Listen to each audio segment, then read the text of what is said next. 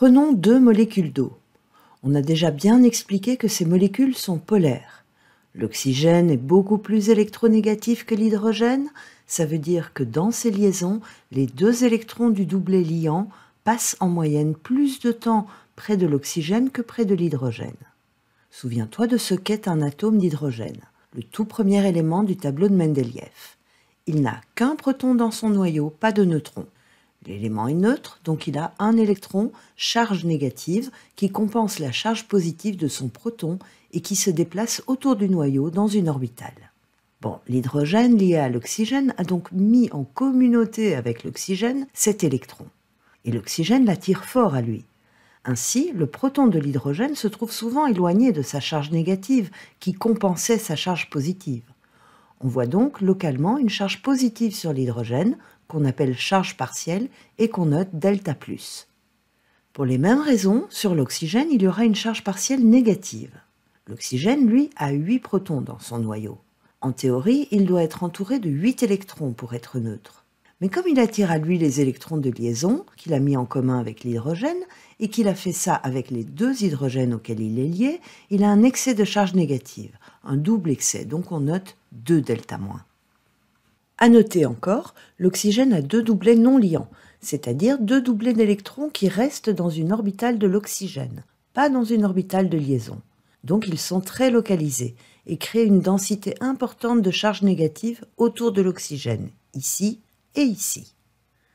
Dans l'eau liquide, les molécules voyagent. Elles se heurtent, rebondissent les unes sur les autres et ça va dans tous les sens en permanence.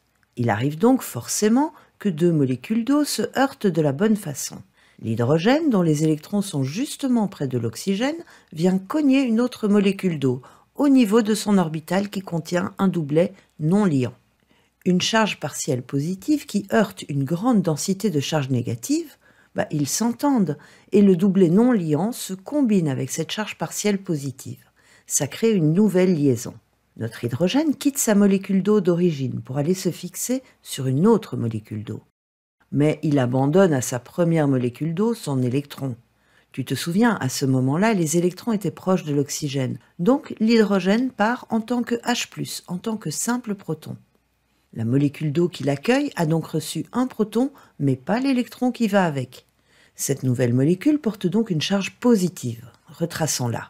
On a toujours l'oxygène au centre, toujours lié à ces deux hydrogènes d'origine, et un de ces doublets non liants est devenu le lien avec le proton accueilli. On a bien deux électrons de liaison ici, mais ils viennent tous les deux de l'oxygène. Et puis, il reste le deuxième doublet non liant de l'oxygène. Alors, si ça t'amuse, tu peux refaire le compte des protons et des électrons apportés par chaque atome, mais ce n'est pas nécessaire. On avait une molécule neutre, elle a accueilli un proton chargé plus, elle devient chargée plus, elle aussi. Voilà, H3O+, c'est l'ion hydronium. Voyons maintenant ce qui se passe sur l'autre molécule d'eau. L'hydrogène est parti en lui abandonnant les électrons de liaison. Donc ce doublet liant se reporte entièrement sur l'oxygène. L'oxygène central a désormais trois doublets non liants. Les deux d'origine et celui-ci. Il a aussi encore sa liaison avec l'autre hydrogène. Du côté des charges, il a perdu l'hydrogène, mais a gardé son électron. Il n'a perdu qu'un proton, donc il a perdu une charge positive et donc il a un excès de charge négative.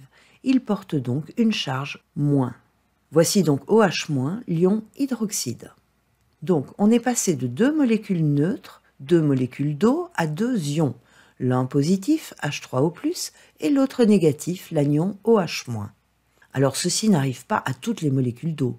Ça arrive en fait très rarement. C'est une question de probabilité il faut que les molécules se heurtent suivant la bonne orientation et il faut qu'à ce moment-là, l'hydrogène qui va être transféré soit fort privé de ses électrons qui voyagent près de l'oxygène.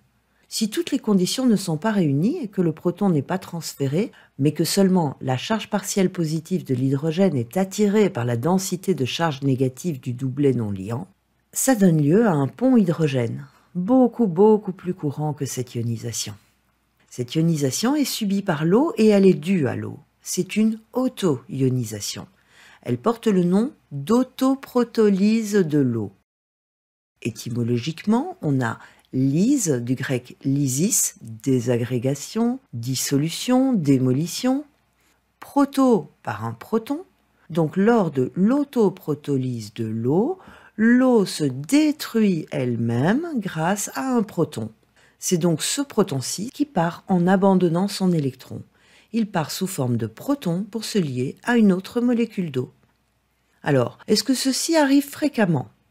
Prenons un litre d'eau, de l'eau pure, juste des molécules de H2O. Eh bien, dans ce litre d'eau, la concentration en H3O+, je mets des crochets pour indiquer qu'il s'agit d'une concentration. Donc cette concentration, à 25 degrés Celsius, est de 10-7 molaires, donc 10-7 moles par litre. Ah, et ça représente combien de molécules, ça? Alors une mole, on en a déjà parlé, c'est une quantité d'objets, comme une douzaine. Une douzaine d'œufs, c'est environ 12 œufs. Une mole de molécules, c'est une quantité beaucoup plus importante, environ 6,02 fois 10 exposant 23 molécules. C'est le nombre d'Avogadro qui fait le lien. Na vaut 6,02 fois 10 exposant 23 molécules dans une mole, par mole donc. Alors quel est l'ordre de grandeur? 10 exposant 23, c'est 10 exposant 9, fois 10 exposant 9, fois encore 10 exposant 5. Et 10 exposant 5, c'est 100 000, et 10 exposant 9, j'utilise ça parce que c'est 1 milliard.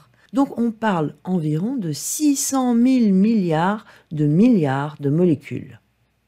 Ma concentration en H3O+, si je veux l'exprimer en molécules par litre, sera donc 10-7 moles par litre fois environ 6 fois 10 exposant 23 molécules par mole.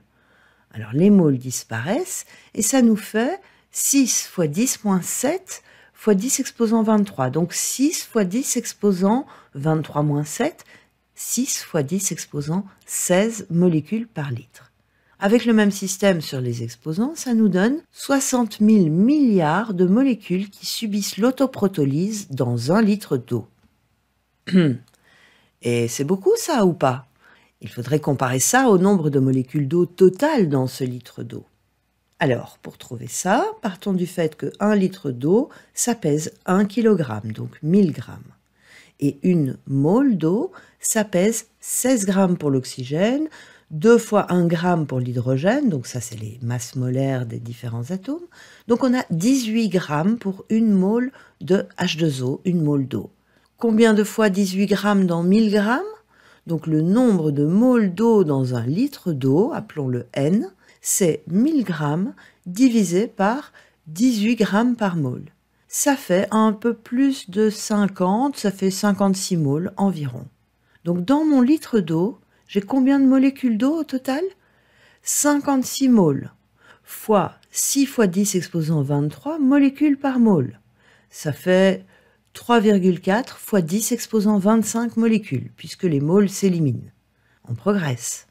Donc, si on veut connaître la proportion de molécules qui se trouvent sous forme ionisée, il y en a 6 fois 10 puissance 16 qui subissent l'autoprotolyse par rapport au total de 3 fois 10 puissance 25. On simplifie par 10 puissance 16. Donc il nous reste quoi? Il nous reste 2 sur 10 puissance 9. Donc voilà la réponse. Deux molécules par milliard de molécules subissent l'autoprotolyse de l'eau. Waouh Alors si les molécules d'eau étaient les habitants de la Terre, on est environ 8 milliards en ce moment, c'est comme si sur l'ensemble de la population terrestre, il y avait 16 personnes élues. On peut valider, je pense, que cette autoprotolyse n'arrive pas souvent. Cette réaction favorise donc largement les réactifs on pourrait dessiner ici une flèche plus grande pour la réaction inverse que pour la réaction directe. Mais on va quand même tenir compte de l'autoprotolyse de l'eau parce que, avec les concentrations auxquelles elle donne lieu, l'importance des ions H3O+, et OH- qu'elle génère n'est pas négligeable.